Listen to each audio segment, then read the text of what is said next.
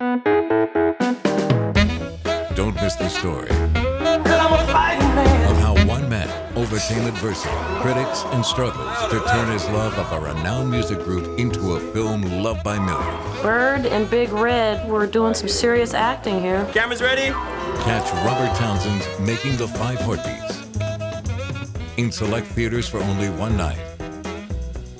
Tickets available at fathomevents.com.